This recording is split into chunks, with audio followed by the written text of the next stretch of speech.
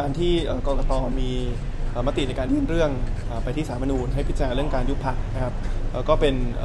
ฉากกระทัดนะครับที่พรรคก้าไกลก็คาดการว่าจะเกิดขึ้นหลังจากที่มีคำวิจัยสารมนูญเมื่อวันที่เอ่อ31มกราคมที่ผ่านมาครับก็ทางพรรคก็จะทำเต็มที่นะครับในการพิสูจน์ผ่านขั้นตอนกระบวนการต่างๆนะครับว่าสิ่งที่เราทำไปนั้นไม่ได้เป็นการกระทำผิดที่จะนำไปสู่การยุบพักนะครับ ก็จะพิสูจน์ความบริสุทธิ์ของเราอย่าง เต็มความสามารถนะครับซึ่งผมคิดว่าการพิสูจน์ความบริสุทธิ์ตรงนี้เนี่ยมันมีความสำคัญมากกว่าแค่ผลกระทบต่อพรรคก้าวไกลนะครับ แต่ว่ามันมีผลกระทบต่ออนาคตการเมืองไทยด้วยเช่นกัน ในมุมหนึ่งถ้าเราสามารถพิสูจน์ได้ว่าสิ่งเราทำนั้นเป็นสิ่งที่สามารถไม่ได้เป็นสิ่งที่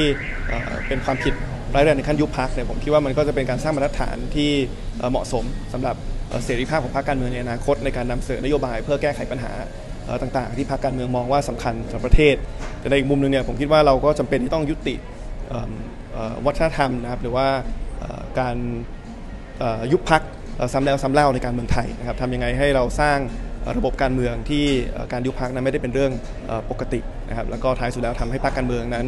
แม้จะมีอุดมการณ์ที่แตกต่างกันนะครับแต่ว่าสามารถพัฒนาเป็นสถาบันการเมืองนะครับที่เป็น